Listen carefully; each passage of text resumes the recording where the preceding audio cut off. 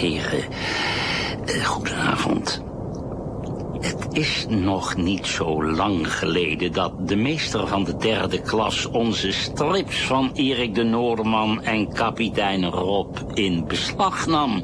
Het was in de tijd dat het land lag te broeien onder de klamme deken van de jaren 50 die zo meesterlijk beschreven zijn door Gerard Reven in de avonden. En oh ironie, vanaf vandaag verschijnt de avonden als strip in de krant van kapitein Rob, het parool dus, getekend door een van de meesters van het Nederlandse beeldverhaal. Hier is Dick Matena.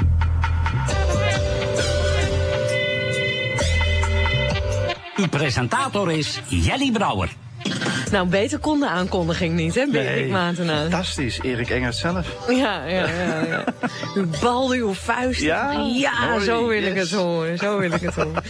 Goedenavond, dit is Kunststof van dinsdag 29 oktober. Het dagelijkse radioprogramma over cultuur en media. Het fragment, dat haalden wij uit Barend en Van Dorp van gisteravond. Kamerlid Winnie de Jong was weer eens te gast. En eh, rapper Reemster, die een nummer maakte met als titel Kut Marokkanen. Winnie de Jong zat zich flink op te winden. Al dus Winnie de Jong, Dick Matena. Inspireert deze vrouw u tot een portret? God allemachtig, nee. U grijpt ook naar uw buik. Ja, natuurlijk. Ik vind dat heel verschrikkelijk. Die, die, dat, dat het überhaupt nog op televisie komt of radio of wat dan ook. Dat moet helemaal niet, ah, die gaan u? patiënten. Die moet behandeld worden. Weggehouden van de media of wat dan ook. Beschadigt alleen zichzelf.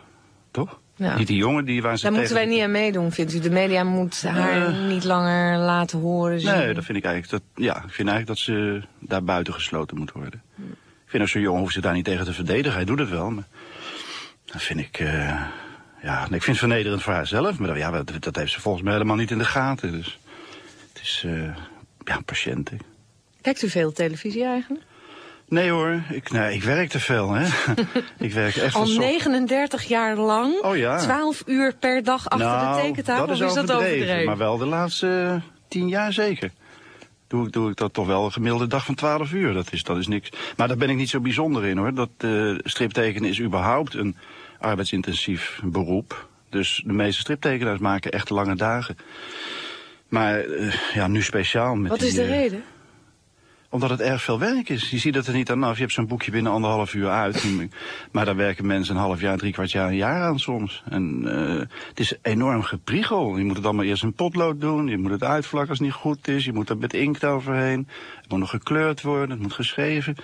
Het is echt f- heel veel werk. Maar, eh, maar als je er vijf uur per dag aan zou werken, dan zou je er gewoon te lang over doen. Voordat Nou, het dat- volgende album uitkomt. Nou, dat is niet erg. Als je een, eh, bijvoorbeeld een hele succesvolle serie hebt, dan kan je je permitteren eh, daar lang over te doen. Een man als uh, Herschever Kuifje. Ja, die maakt op het, op het laatste, ik geloof, één album in de, in de acht jaar of zo.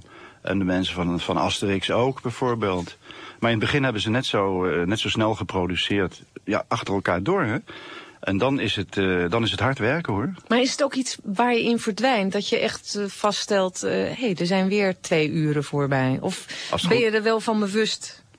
Uh, nee, als je, da- als je, eh, kijk, als je dat vak goed wil uitoefenen, maar dat is met ieder beroep, dan moet je er natuurlijk bezeten van zijn met, met je hart en je ziel aan werken. Dan is het meer een, eh, een roeping dan een beroep. Eh, de beste striptekenaars, de, de beste kunstenaars, eh, en dat, daar zijn de beste striptekenaars horen er ook bij.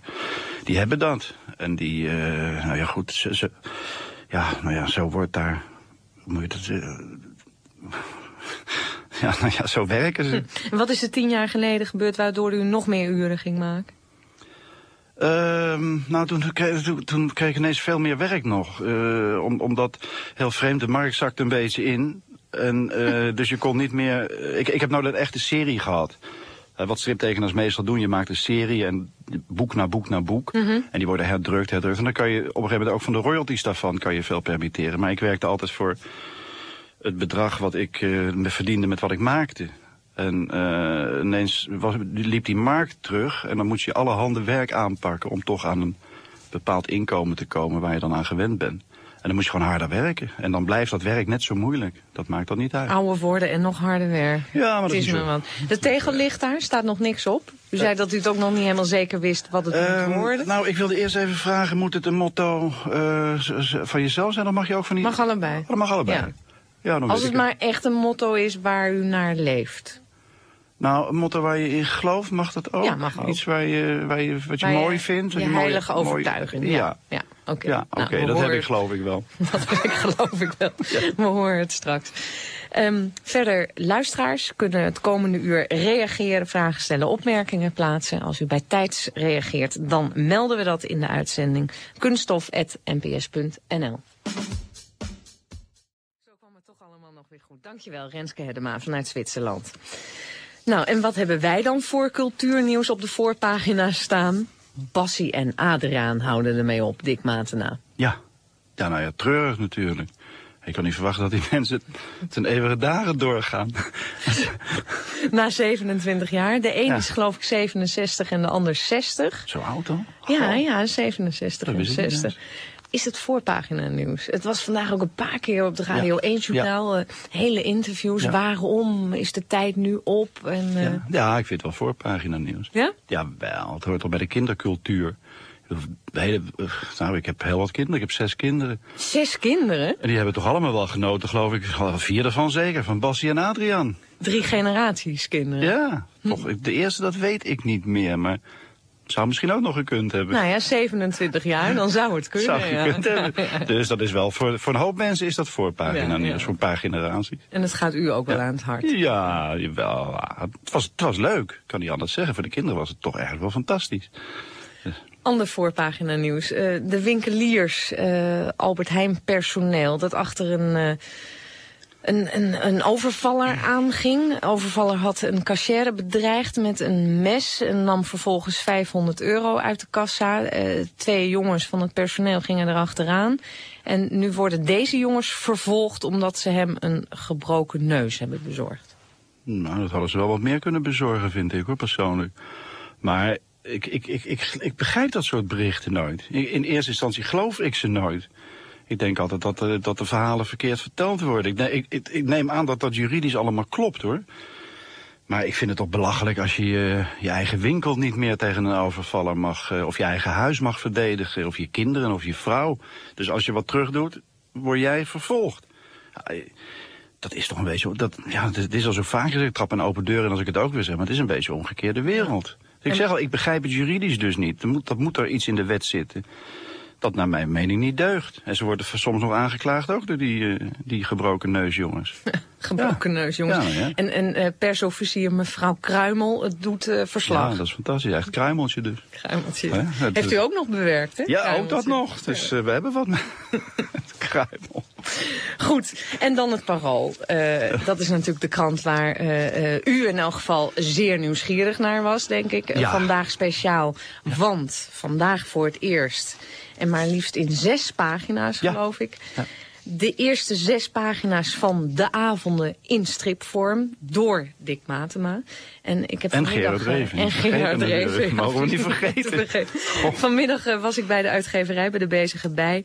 En eh, het was heel spannend, want uit de kluis kwam tevoorschijn de pagina's die tot nu toe af zijn. Oh, dus ze liggen echt in de kluis. Ze liggen echt in, de- ja, ja precies, want ik zat me dat gelogen. af te Ja, nee, En er staat echt een kluis en daar kwam het uit. En de hardcover heb ik ook gezien. En dan zie je inderdaad, het is een prachtige uitgave. Lichtgrijs, deel 1. Ah, ja. Het wordt alsmaar iets donkerder grijs, Ja, de omslag. Ja. En dan zie je Gerard Reven, Dick Matena. Ja, dat is in nog- even grote letters. Dat is zo surrealistisch voor mij. Dat, het moeite om, ik, ik had moeite om dat, om dat eh, te doen. Ik heb ze zelf getekend, die letters. Maar eigenlijk, eigenlijk was mijn, mijn voorstel toch wel om, om zijn naam groter op te zetten. Niet dat commerciële motief hoor natuurlijk. Maar, en mijn naam ergens onderin als bewerker. Maar eh, ja, nou, de bezige bij vond dat het werk in die zin toch wel gelijkwaardig was. Ik, dat het voor mij ook een hoop werk was. Dat je dan allebei toch wel een soort auteur bent. En men- misschien door de manier waarop ik die strip maak of zo. Maar ik, het blijft voor mij iets onvoorstelbaars. Om dat te zien, iedere keer weer opnieuw. Volgens mij heeft u er ook wat meer uren in zitten dan Gerard Reven. Dat zou ik niet durven zeggen. Hij heeft Dat zou ik niet durven zeggen. Ja, maar hij heeft er natuurlijk veel meer, hoe noem je dat? Ja, ja ik denk toch nog meer intensiteit in zitten. Ik, het is, hij is toch echt de creator daarvan. Ik, eh, ik ben Ja, u heeft er alleen maar wat tekeningen bij gemaakt. Nou, dat, het, is geen, het is geen Suske en Wiske natuurlijk. Met alle respect voor Suske en Wiske. Maar techniek, Bescheidenheid siert de mens, Dick Matena, maar ehm, Uh, daar kunt u ook in doorschieten. Nee, maar Reef is voor mij een grote naam natuurlijk. Uh -huh. Een van de allergrootste, een, een idool van me. En om daar dan naast te staan, inderdaad in dezelfde letter... alsof je dat samen lekker gemaakt hebt, ja, dat is bizar. Wat gebeurde toen u de hardcover voor het eerst zag? Ja, hetzelfde effect. Ik geloof het nog steeds allemaal niet helemaal. Nee? Het is, nee, het is voor mij nog steeds uh, verbijsterend. Ik ben, dat, ik ben dat echt, in dat, echt voor mezelf een keer op, op, op de decemberavond ben ik daarmee begonnen. Gewoon eigenlijk uit nieuwsgierigheid om te zien of het kon. Of, of ik, en hoe dat eruit zou zien. Als niemand anders het doet, dacht ik, nou dan wil ik het maar doen. Wanneer was dat, dat u eraan begon? Uh, december 2000 alweer hoor, dat is alweer een tijdje geleden. En dat ging toch, ja, wat ik van mezelf zag, dat vond ik eigenlijk wel erg mooi. Toen dacht ik, nou dan, uh, laat ik la En die methode om het te bewerken integraal, want dat was dan toch wel mijn bedoeling. Hè? Geen letter veranderen, niks eruit halen. De tekst is helemaal hetzelfde. De tekst is heilig. De, de, tekst van Reven is heilig. Daar kom je niet met je handen, je vingers aan. Dat, uh, daar ga je niet in zitten schrappen. Of uh, wat je normaal in een bewerking doet, hoor. Of je dat voor een film doet of voor een kinderboek. Je moet comprimeren, maar dat mag dus niet. En dat is ook nog niet eerder gebeurd, hè? Bij mijn weten is dat in, in ieder geval in West-Europa tot aan Amerika nog nooit gebeurd. Nee, ik denk niet dat er iemand ooit op het... Misschien lopen er wel mensen rond met hetzelfde idee waar ik een tijd mee rondgelopen. Gek zijn op een boek.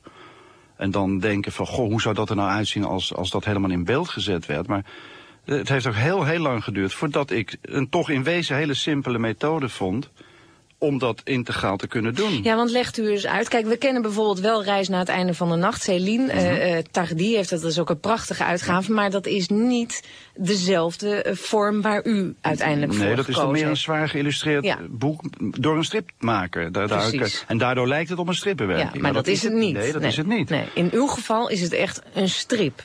Uh, ja, Maar absoluut. ook weer niet. Ja, je moet Hoewel... het... Nou, ik wilde er een strip van maken. Dus, dus, maar toch ook dat het niet een echt alleen maar een strip is. Dus dat het ook het literaire effect er toch wel in blijft zitten. Of dat gelukt is, dat weet ik niet hoor. Dat, dat, dat moeten de mensen straks beoordelen. Dat is voor jezelf heel moeilijk. Het enige wat ik kan zien is, als ik het, wat ik nu gemaakt heb al lees achter elkaar, is het de avonden van Reven. Maar omdat je natuurlijk toch uh, een andere vorm hebt dan de, een ander media bezig bent dan alleen maar een literaire roman, is het toch een soort andere avond aan het worden. Het is uh, krankzinnig, hè? tenminste ik ben zwaar onder de indruk. Je weet niet wat je ziet, want het is hm. tot in de kleinste details uitgevoerd. Wat je normaal in een strip ziet is bijvoorbeeld een huis met baksteentjes. En dan maakt de tekenaar zich er al snel makkelijk vanaf. Ja. Natuurlijk, gewoon dat worden dan drie baksteentjes. En de suggestie is dat het hele huis uit bakstenen vaak, bestaat. Vaak. Maar bij u zijn het allemaal baksteentjes. Je ziet lantaarnpalen uit de tijd van Frits van Echters. Je ziet een reclamezuil uit de tijd van Frits van Echters. Probeer ik wel, ja. Auto's, kleding, uh, schemerlampen, het spiegeltje waarin hij zichzelf aanschouwt, zo naast het bed, zoals spiegeltjes ja. toen hingen. Het klopt echt allemaal helemaal. Dat hoop ik. En je bent bang dat het saai zal zijn, want je hoort dat het in, alleen maar in grijs en zwart tinten is. Ja. Maar dat is het niet, want ik heb nog nooit zoveel kleuren grijs. Ik wist niet dat er zoveel kleuren grijs waren. ja, dat is natuurlijk alle, het is een enorm uh, hoeveelheid grijzen. Maar het komt natuurlijk omdat je het zo plastisch mogelijk moet maken. Althans, dat wil, dus zo realistisch mogelijk. Mm -hmm. Dus in, wezen is het, is het een, een, een, olieverf, een olieverfschilderij. Ieder plaatje is een olieverfschilderijtje in, uh, ja, in grijzen, in zwart-wit grijs tinten. En omdat ik het laagje, op de, ik begin dus met een heel dun laagje grijs eerst. En dan ga je de details, ga je hier wat, wat meer grijs erop en daar wat meer grijs. En laagje na laagje na laagje bouw je dat op. Dus vandaar dat je die enorme hoeveelheid uh, toch grijstinten krijgt. Waardoor het ook een heel plastisch effect krijgt. Net of je, nou, ja, althans dat is mijn bedoeling, of je, het, of je het vast kan pakken. Zoals een beeldje of zo. Want soms is het bijna zwart, hè? Dat je denkt, ja, nu ook. zie ik bijna niks meer, ja. maar dan toch doemt ja. daar nog een hond echt, op. Of... Nee, echt zwart komt er nooit in voor. Het is, dus, ik denk niet dat er zwart in zit, maar wel heel donkergrijs. Hm. En dat... Uh, uh, ja, dat blijft, dat, dat, dat, als je het zwart gaat maken, dan wordt het, uh, dan loopt het dicht en zo. En dat is de bedoeling niet. Er moet allemaal toch een grijs sluier. Hoe donker het ook is. Je moet er doorheen kunnen kijken. Het moet transparant blijven. De, het moest grijs zijn. Het moest die grauwsluier ja. van de jaren 50 hebben, vond? Ja, ik, nou, ik heb al die keren dat ik de avonden las, heb ik dat boek zelfs nooit in kleur in mijn verbeelding gezien. hij is er, Reven is erin geslaagd door, de, door bewust of onbewust, dat weet ik niet, uh, door zijn techniek, zijn manier van schrijven in die tijd. Hij was technisch toen nog lang niet zo volmaakt als hij later geworden is. Maar hij, hij, hij is erin geslaagd door, door alle effecten van, um, van, van mooi, positief. Uh, hij, hij, schrijft, hij geeft weinig detail over de omgeving. Als ze ergens naartoe gaan, bijvoorbeeld naar de bioscoop dan zal hij niet zeggen, uh, we liepen over het plein en in de verte zagen we de lichtjes van de bioscoop al twinkelen. Hm. Uh, waardoor, je, waardoor je iets, dan, als je dat leest, dan krijg je iets van, van, iets van lichts over je, van mm -hmm. geel of, of blauw of weet ik veel. Nee, hij schrijft iets in de trant van, we gingen staken het plein over, gingen de hal binnen, keken even in de vitrine en gingen toen de bioscoop. En dan hij verstrekt geen enkel detail van vrolijkheid. Bijna het hele boek niet. Geen warmte. Warmte wel. Ja, ik vind juist dat het een enorm warm boek is. Waaruit spreekt die warmte zelfs. dan? Geen gezelligheid, maar wel warmte? Uh, ja, uit de emotie die erin zit. Uit de emotie, uh, hoe sect hij het ook schrijft. Hoe, hoe beheerst de mensen ook blijven. Er zit een zinderende intensiteit in van, van gevoelens. Dat, dat zit er wel in. Maar dat legt hij niet in de achtergrond. Er komt, ik geloof dat er nog maar één zin erin staat als hij bij de bijenkorf vandaan loopt, die daar het wespennest heet, mm -hmm. dan, dan breekt even, het is niet koud, dan breekt even de zon door de wolken. Dat is ook de enige keer dat hij... Dat is bijna, dat denk ik, eigenlijk moet ik dit eruit laten. Maar goed, dat mag dus niet, want het nee, moet integraal nee, zijn. Daar gaan we het zo over hebben, ja, wat okay. u er wel aan heeft gemanipuleerd. Eerst even verkeersinformatie. Radio 1, Kunststof. En vandaag is Dick Matenaar te gast, striptekenaar. En vanaf vandaag is de avonden in stripvorm te zien in het Parool. U weet al dat uh, de strip uiteindelijk 341 pagina's zal hebben. Hoe komt ja. dat dat u dat zo precies weet? Uh, omdat toen de bezige bij besloot dat dat uit te gaan geven, uh, toen wilden ze een voorpublicatie doen. En als je gaat voorpubliceren, dan wil een krant of een blad graag weten of ze of tot het einde der tijden moeten publiceren. Of In het dat geval er een keer van een Parool is dat wel handig ook, ja. Bijvoorbeeld. Hm. Dus toen moest ik, uh, wat ik ook voor mezelf nog niet uitgemaakt. Ik, ik had toen ik een pagina of vijf, de vijf waarmee ik bij de bezige bij ben gekomen en bij uh, Reven, Reven en Schafthuizen. Uh, toen wist ik ook nog niet hoe lang het zou worden. Ik schat het iets op 400. Het had er ook makkelijk duizend kunnen zijn hoor. Maar uiteindelijk, uh, je kan van ieder zinnetje van Reven kan je bijna een plaatje maken. Ja, dat is echt waar. Hij pakt de deurknop, hij draait de knop om, hij gaat naar binnen. Dat doet hij soms heel gedetailleerd. Maar dan haal je weer, als je dat, dat zou doen, dan haal je dan geef je ook Reven niet het, uh, de ruimte voor zijn tekst. Je moet hier en daar van die blokken gebruiken. Uh, waar, je, waar je hem de ruimte als schrijver geeft. Dat geeft dan toch net dat effect tussen een strip en, en ook nog literatuur. Als Kunt je u dat daar allemaal... een voorbeeld van geven waar u hem uh, schrijver nou, laat zijn? Of alleen maar schrijver laat zijn? Ja, nou dat zijn soms die blokken ertussen. Dat, je hebt dus de balloons waar de, waar de dialogen altijd zoveel mm -hmm. mogelijk in staan. En die blokken waar die, uh, nou als je bijvoorbeeld een zakje antraciet van zolder gaat halen, dan, dan uh, je kan dat allemaal tekenen. Dan gaat hij de trap op, doet de deur open, loopt die zolder in. Hij beschrijft een klein beetje zolder, haalt dat zakje, neemt hij onder zijn arm, doet allemaal dingen. Dat zou je allemaal nog kunnen tekenen. Maar dat vind ik dan toch op de een of andere manier als geschreven ook weer zo, ja, uh, vind ik dan zo spannend, zo, zo reven. Mm -hmm. Dan denk ik, nee, dit doe ik niet. Hier breek ik het even af. Uh, maar dan zorg, probeer ik wel te zorgen dat het plaatje toch nog correspondeert met het plaatje daarna. Het is allemaal heel ingewikkeld. Het is echt niet zo makkelijk. Nee, nee. Het is ingewikkeld dat ik het zo vertel. Want, want waar ik maar ook die keuze, die, die keuze is dus echt persoonlijk. Ja. Wil iemand anders zou het misschien een hele andere keuze van plaatjes maken. Het zijn wel uw avonden geworden. In die zin is het mijn, mijn versie, mijn, mijn visie op de avonden. Dat, uh, als strip, ja. En, en een andere bewerker die maakt een andere versie. Zo zijn dat duizenden. Maar zo kwam ik dus uiteindelijk op 341 pagina's. Want ik heb het hele boek toen verdeeld, opgesneden. Want ik ben gewoon gaan zitten en ben dat maar gaan doen. En het is het dus in klad, die 341 Ik heb 341 A4'tjes liggen, ja.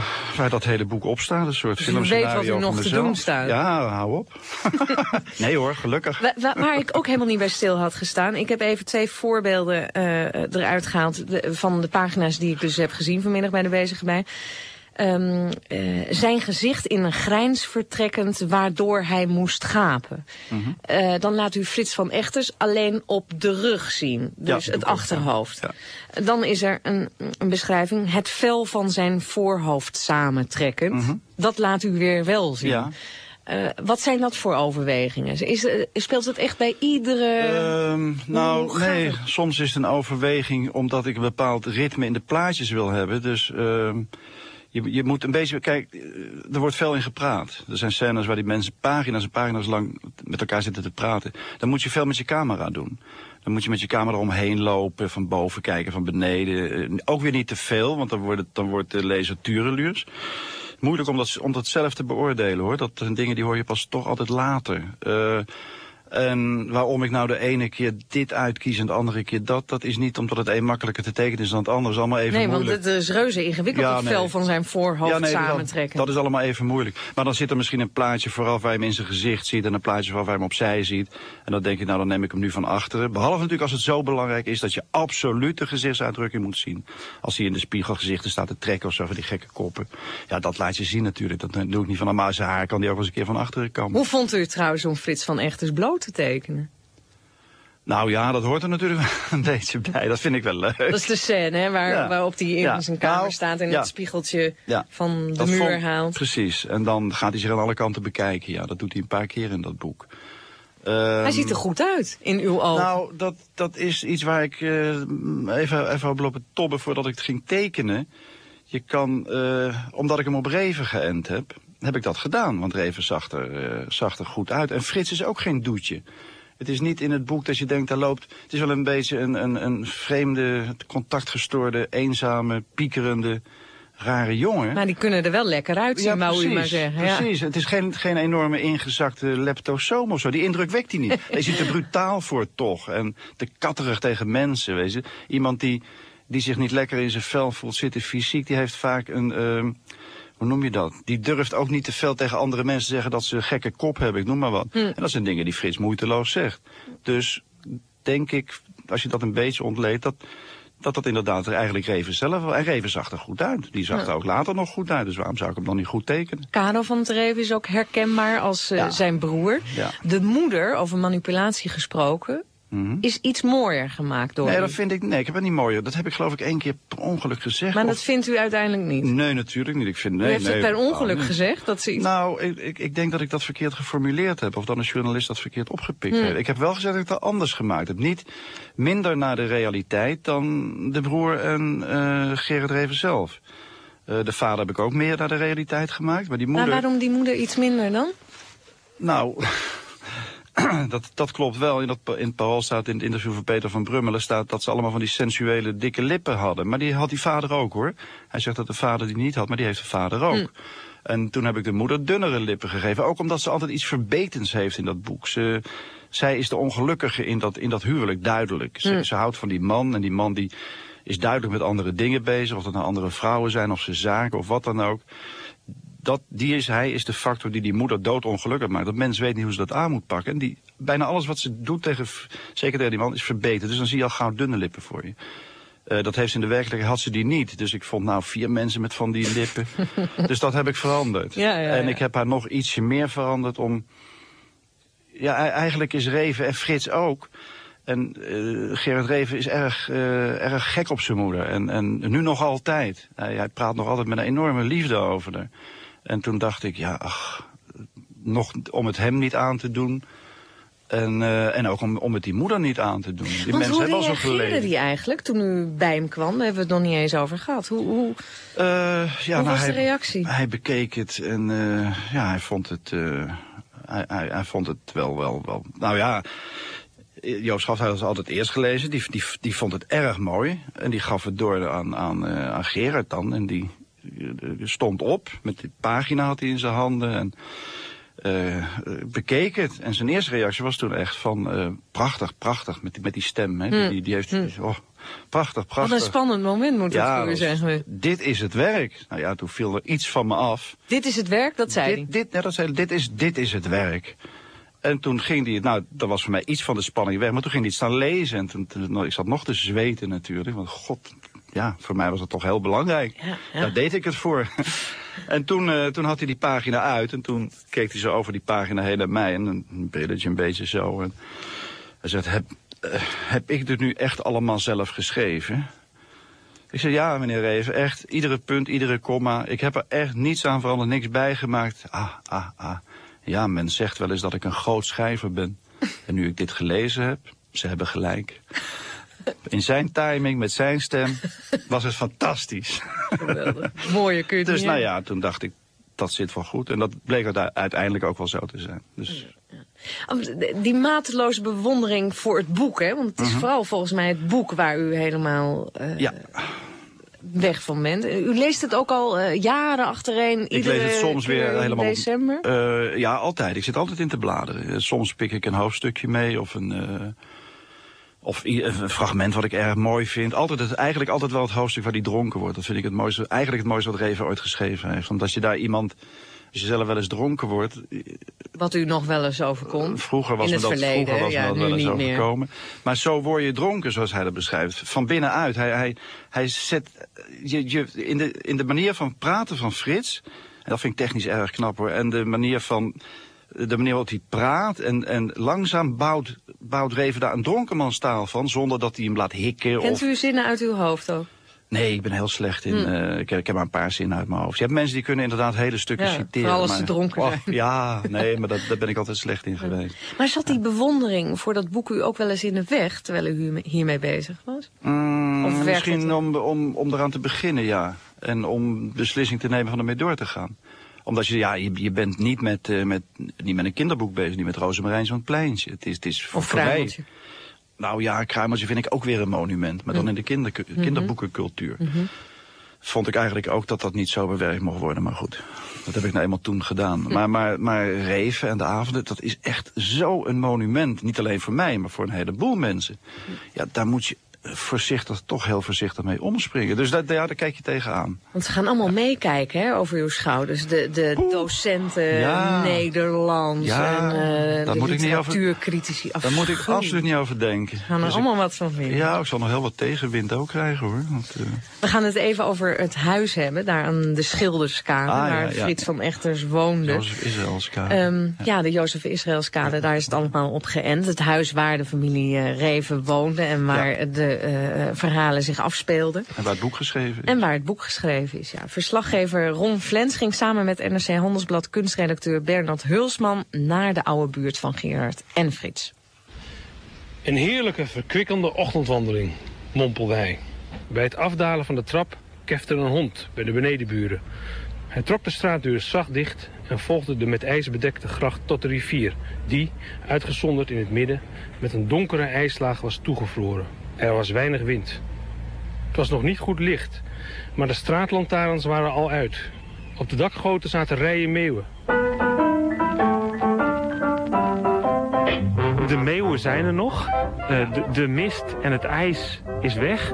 Er is wel veel wind geweest. Er liggen hier eh, zelfs op de Jozef Israëlskade flink wat bomen om. Ik zag er verder eentje Ja. zelfs tegen een huis aan liggen. Het is een groot verschil met toen, denk ik. Ik denk het ook wel. Ik denk dat het toen ook eh, veel kaler was. Eh, je ziet nu, nu veel bomen voor de Jozef Istalkade. Die waren toen of heel klein, of eh, ze waren er misschien helemaal niet. Dit was het eerste deel van het plan Zuid van Berlage dat werd uitgevoerd. Eigenlijk begint het echte plan Zuid aan de overkant. Maar dit stukje is ook volgens, min of meer volgens zijn richtlijnen van Berlage bedoel ik dus, gebouwd. En het is aan de pijp geplakt. En daar verderop zie je ook een vrij forse breuk met de bebouwing van de pijp. Die is altijd een beetje rommelig. Kaveltjes die werden gekocht en eh, eh, daar werden allemaal eh, afzonderlijke huizen neergezet. Maar hier zijn echt woonblokken neergezet in één keer. En dat was ook de bedoeling van Berlage. Er moest een stad gebouwd worden met woonblokken. Woonblokken waren de grondstof van de stad. En dat gaf natuurlijk al meteen een heel andere sfeer dan de rest van Amsterdam. De rest van Amsterdam wordt juist gekenmerkt door, zeker als je naar de grachten kijkt, steeds andere huisjes naast elkaar. En hier zie je forse blokken. En eh, nou, dat zorgde al voor iets eh, ja, tamelijk unieks in, eh, in Amsterdam en misschien ook wel in Nederland. Ja, wat, voor mensen gingen hier wonen? Ehm, de betere arbeiders, zeg maar. De, de, Schoolde arbeiders. de schoolarbeiders heette dat toen, denk ik. En, en, en de middenstanders toch wel. Het waren niet echte arbeiderswoningen. Ja, en dus in dat plan Zuid woonde ook de familie van het Reven. En ja, we lopen hier nou op de Jozef Israëlskade en komen hier aan bij nummer 415. En hier ze, hè? Ja, dat moet dan aan die linkerkant zijn geweest. Oh ja. Ik denk op de eerste eh, verdieping. En daar. En als je naar die gevel kijkt, ziet het prachtig eh, symmetrisch uit. Toch als, ook als een soort kasteel een beetje, Ja. kasteelbouw. Ja, het- de architect van dit eh, blok is eh, Van Epe. Die heeft hier vrij veel gebouwd. De andere blokken hieromheen zijn ook van hem. En andere stukken van Plan Zuid heeft hij ook eh, gebouwd. En je zou hem kunnen zien als een eh, sobere Amsterdamse schoolarchitect. Ik vind het een prachtig huis, ik zou er best willen wonen. Maar als je de avonden leest, dan spelen daar zich vreselijke dingen eh, achter die gevel af, hè? In dat eh knusse gezinnetje. Ja, nou, je moet er rekening mee houden dat het geen grote woningen waren. En zeker niet als je daar met z'n, nou hoeveel waren het er? Vijf hè? Twee uit een broer en nog de ouders en die open dan. Je kunt bijna, als je dit ook ziet en je stelt je voor dat je daar met z'n vijf woont, vijf volwassenen. Dan kun je het bijna al ruiken hoe dat eh, van binnen eh, geroken moet hebben in die dagen. Dus eh, Het, het roken naar eh, boerenkool, het roken naar een kolenkachel. ja, want eh, de, ik, ik denk dat ze ook nog geen uitgebreide badkamer eh, hadden. Bijvoorbeeld eh, verderop hier in de, de Diamantstraat staat een eh, badhuis, zo'n eh, zes of achthoekig eh, ding. En ja, daar, daar ging hij naar bad. En eh, eh, eens in de week, denk ik. Om zes uur zette zijn moeder het eten op tafel. Ze aten erwtensoep, vlees, aardappelen en koolraap. Toen ze elk hun bord hadden opgeschept, ging het licht uit. Kijk, parkeermeter, betaald parkeren hier ook in de straat. Ja, die stond er nog niet in de tijd van eh, Nee. de reventjes. Nee, en nog meer van, ik zie daar een schotelantenne ook op de ja, gevel. schotelantennes had je toen ook nog niet. En wat, wat ongetwijfeld ook is veranderd, het is dat fietspad dat hier loopt. Dit was gewoon een eh, doorgaande weg en niet een stukje eh, fietspad. Het krijgt hier bijna iets, eh iets woonerf achter. Ja. De stoepen, stoepen zijn heel breed. Los van die moderne elementen die er zijn, pro- proef jij nog iets van die sfeer van toen hier? Eh, ja, ik, ik vind wel dat je het heel goed kunt voorstellen eh, hoe het hier is met grijs weer en als het veel eh, kaliger is. En nu eigenlijk te mooi, hè? Het Ja. is zonnig, het is Ja. lekker fris eigenlijk. Ja, en mooie herfstkleuren van de, bodem, van, van, de, van de bomen. Het is een, een beetje te mooi vandaag, maar je kunt je wel goed voorstellen. Ik heb ook een vriendin die eh, vindt Amsterdam-Zuid, hè, de plan Zuid vindt ze verschrikkelijk. Dat vindt ze heel deprimerend. Die komt uit Amsterdam, ik kom zelf niet uit Amsterdam, uit Weesp. Maar die vindt dat heel deprimerend. Terwijl het in vakkringen wordt het heel goed eh, eh, gevonden. Ja. En, eh, ehm, ja, Waarom vindt zij het deprimerend? Nou, ik denk om dezelfde reden als, eh, als, als van het re- Reven. Die, die grote blokken, die eh, wat naar geestige, eh, lange gevels. Hè. Voor veel mensen heeft het toch een beetje een geestige uitwerking. Dat het toch een beetje massaal is. De- de- dat soort effecten heeft het wel, wel een beetje. En op Ja. de slechte stukken van Plan Zuid mis- misschien zelfs wel in sterkere mate dan, dan een beetje. Op welk nummer u? 414. Weet u eh, wie er op eh, 415 gewoond heeft? Wat dreven, ja. Een Treven, hè? Die heb hier al eh, voor die tijd gewoon. Maar Toen woonde u hier nog niet, hè, in die tijd? Of, eh, Nee, Nee, want ik woon hier pas zes jaar. Hoe is het om hier te wonen? vreselijk. Nou, dat is eh, niet best. U Nee. zegt vreselijk. Nou ja, die kijkt maar naar de overkant. Het plekje, plekje voor de hangjeugd. Oh. Het verloedert hier de buurt. Slaap is er niet meer bij. S'nachts drie uur dan gaan ze herrie maken. De rust van de jaren 50 is verdwenen. Kun je wel, kun je wel stellen?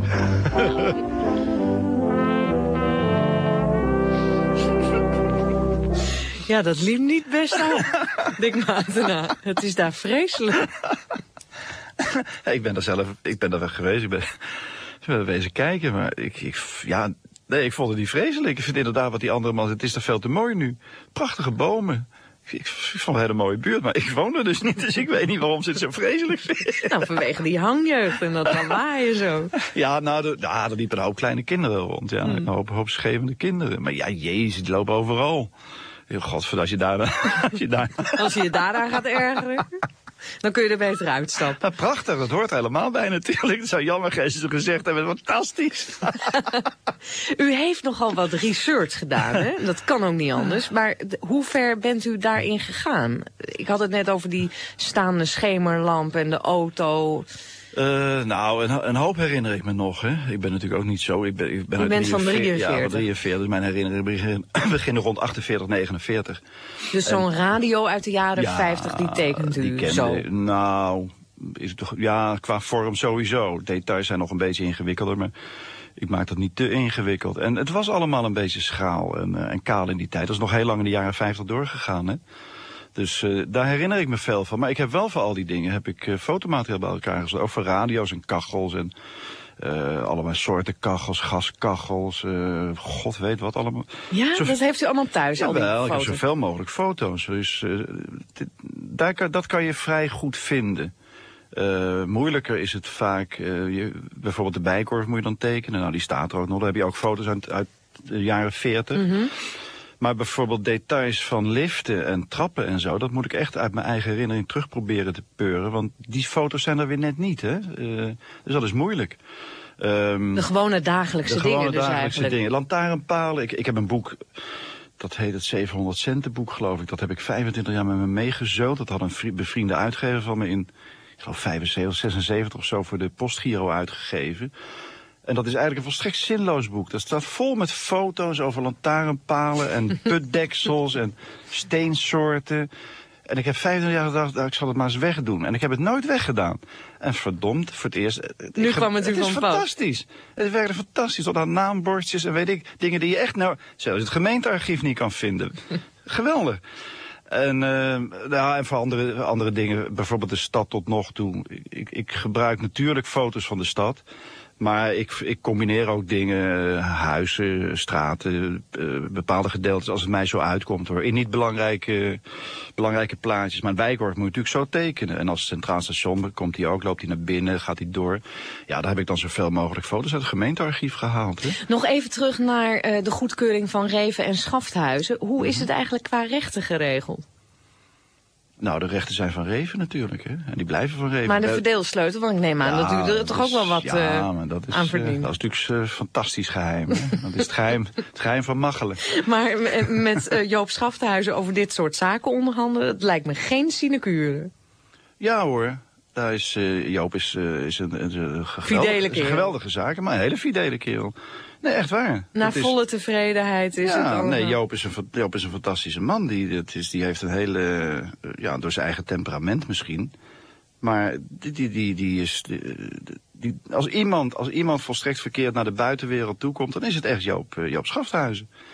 Daar kan ik verder niks aan doen, maar dat, eh, daar, heeft de, daar hebben de media ook jarenlang voor gezorgd. Ik bedoel, ze hebben, hem, eh, ze hebben hem ook nooit erg netjes behandeld. Hij is altijd een beetje, een beetje erbij gezet als, eh, alsof hij Reven uitnam en weet ik wat allemaal. Dat is helemaal niet waar. Hij zorgt fantastisch voor Reven. Buitenzakelijk ook nog, ook nog voor zijn vriend. En hij heeft, voor, voor mij zorgt hij ook heel goed. Dus echt En u Helaas. bent dus echt tot 2004 bent u dit aan het doen, hè? Dag in, dag uit eh, vertrekt u naar Eh, Zolder. Ja, en, en, eh, ik, zit, ik, kijk er met op angst de en- Zolder, in Turnhout, daar ja, woont u. ja, ja, nee, in, in uh, Lichtuit, vlakbij Bobbejaanland. Dus af en toe kan ik naar Bobbejaanland als het met te veel wordt. kan ik de roetsbaan nemen. Veel hangjeugd ook. Ja, veel, veel. Nee, maar ik zie al met angst en beven en schrik uit naar het, september 2004 als ik klaar moet zijn. Wat moet ik dan Wat in godsnaam gaan doen? Naar de avonden? Nou ja, is er niks meer. Ja, maar zo is het toch wel? Zo is het toch wel? Niet? Eh, ja, eigenlijk wel, ja. Ik, bedoel, ik heb dan per ongeluk, of gewoon omdat ik het prachtig vond, heb ik kennelijk het boek gepakt wat... eh, dat weet je wel een beetje als je eraan begint. Want ik weet natuurlijk wel wat de avonden betekent voor een hoop mensen. Maar ik heb me toch niet helemaal gerealiseerd dat je eigenlijk eh, begint met een boek waar je mee moet eindigen. Ja, dus eerst een paar proefboeken en dan neem je de avonden. dan het ultieme werk. Dat, ja. Ja, ik denk dat dat komt omdat ik al eh, tegen de 80 loop. Dus eh, zoveel tijd heb ik niet meer. Dus ik heb de proefboeken maar overgeslagen. Moeten we het eigenlijk ook zien, want u, u bent van 43, eh, geboren in Den Haag. Ja. Is het milieu enigszins te vergelijken met dat van Gerard Reven en Ehm, Frits van Echters? Eh, nou, eh, mijn vader, eh, mijn vader was, was communist. Die, die, die was een, niet lid van de partij geweest. En zeker geen kaderlid natuurlijk, zoals Reven zijn vader dat ooit geweest is. En hij was uit veel vrij, vrijer en hij voedde ons veel vrijer op. Ik We hadden daar geen last van verder. Maar ik heb wel iets meege- meegemaakt natuurlijk van wat een communistische opvoeding inhoudt. Ik bedoel, wat dat betreft begrijp ik wel waar Reven het over heeft hoor. Het is ook een soort religie.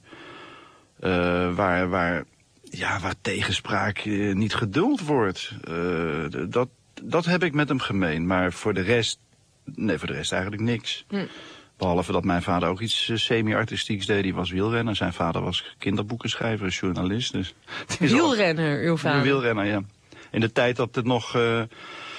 Hij hij was een goeie hoor, maar hij reed achter de grote motoren, heette dat toen. Dat, was, volgens een keer- dat waren die dingen die cirkelden. Toen was de baansport heel populair, hè? In, eh, vlak na de oorlog tot, eh, tot begin jaren 50. En hij reed dan op die baan achter die grote motoren. Dat ging wel 80, 90 kilometer per uur. Dat vond ik als kind verschrikkelijk. Als Communistische vader die beroepswielrenner Ja, krankzinnig. Ik heb het ook nooit van de man begrepen. En met u ging het niet helemaal lekker in het begin, maar op uw zeventiende had u het gevonden bij Maarten Toon. hè? Ja, ja, ja, toen ik daar Toen binnen... klopte het helemaal en allemaal. Eh, ja, toen ik vanaf de eerste seconde... ik- Nou ja, ik was met tekeningen erheen gegaan, stripjes. En die vond hij leuk. En ik kon daar beginnen dus. eh volontair heette dat inderdaad, geloof ik. Hij betaalde. Ik woonde in Den Haag nog en dan werd de treinrit voor, werd voor me betaald. oh ja. Ja, maar na een paar maanden eh, kreeg ik al vrij snel betaald. Want ik kon in de productie mee, meekomen. Maar toen ik daar binnenliep, dacht ik, ja, dit is het. Dat ik voor het eerst had ik een... dat ik de, ja, hier, hier hoor ik thuis. Dit is mijn vak. Eh, vandaar dat ik het nog steeds doe, denk ik. Waarom klopt het zo? Waarom is dat tekenen echt... eh, Dat weet ik hetgene niet. wat- Eh, Tot een paar maanden. Ik heb altijd strips gelezen, stripjes. Dat heb ik echt. eh, mijn ouders hebben zich nooit iets aangetrokken, gelukkig, van die morele toestanden die in de jaren 50 nog had, waar eh, Joost Prins het over had. Wij, wij werden bedolven onder de strips. Alles wat. mijn vader nam ook altijd dingen uit België mee waar hij veel moest, moest wielrennen, want dat deed hij veel in België. En daar had je. Dat paste daar toen al van de strips. Dus ik heb altijd ben met plaatjes opgegroeid. En ik heb ook wel stripjes getekend als kind. En op de HBS tekende ik ook altijd leraren en zo, karikaturen. Maar eigenlijk... Toen waar u zich waarschijnlijk heel populair mee maakt. bij de leerlingen wel, ja. Ja, ja. Bij de leraren, nou, eh, af, en toe minder. af en toe zat er eens één tussen die het wel aardig vond. Maar door de bank genomen werd dat in de jaren 50 echt niet op prijs gesteld, hoor. Maar toen ik van school afging, toen wilde ik eigenlijk eerder eh, ja, kunstschilder worden of zoiets. Tenminste, ik kwam, eh, ja, ik weet niet waar, of waardoor dat nou komt, maar dat is misschien bloed wat in je kruipt. Dat, zonder dat je het weet al het zogenaamde artiestenbloed, zoals dat heet. Maar je komt dan in artiesten- en artiestluizencafés terecht. En ik vond dat dat wel indrukwekkend. Er kwamen veel schilders. Ik was, heel, ik was nog heel jong. Ik was 15 toen ik daar voor het eerst kwam, geloof ik. Dus je bent nogal een bedeesd ventje. Maar je ziet al die mannen met al die... Allemaal beeldschone vrouwen. En toen dacht ik van, nou, dat wil ik ook dus wel. Schilderen en beeldschone vrouwen. En toen dacht ik, nou, dan word ik schilder. Dus ik heb eigenlijk nooit nagedacht over, eh, over strip meer. Tot, maar ik Een schilder bent u eigenlijk wel geworden. Want wat ik Ja, vanmiddag heb gezien heeft weinig meer met strips te maken, toch? Ja, het heeft alles met strips te maken, maar het is een, eh, een techniek die in strips niet veel toegepast wordt. Ik, ja, ik, ik ben altijd met verf bezig geweest. Ja. Ik, ben, ik ben een van de weinige stripmakers in Nederland die altijd zelf, bijna altijd zijn eigen werk gekleurd heeft. Want dat wordt vaak verdeeld, hè. Het gaat naar inkleurstudio's en zo. U bent gewoon kunstschilder geworden. En die mooie vrouwen zijn er ook nog achteraan gekomen, zie ik. Ja, ook dat nog. Ja, het is eh, wonderlijk, wonderlijk gegaan. En dat allemaal gratis en voor niks bijna. Nou, dat geloof ik niet helemaal, maar daar hebben we het een andere keer over. Er is nog een vraag van een luisteraar. Chef Braakman vraagt zich af wanneer de versie van de avonden in boekvorm uitkomt. Dat kunnen wij melden. Deel 1 verschijnt Eh, eind februari, ja. volgend jaar dus. Ja. Wat staat er op de tegel? Staat nog niks, maar u weet vast wat Eh, daarop komt. Nou, als dat mag, hè, mag ik... 20 eh, seconden hebben we nog. Van eh, Oscar Wilde, voor alle mooie uitspraak. Sommigen, liggen allemaal in de goot, maar sommigen van ons kijken naar de sterren. We liggen allemaal in, in de, de goot, goot, maar som- sommigen van ons kijken naar de sterren. Ja, dat heb ik altijd prachtig gevonden. Ik vind hem ook heel mooi. Dank, Dick Matena. Dank, meneer Matena. En succes met uw monnikenwerk. Dit was aflevering 400 en...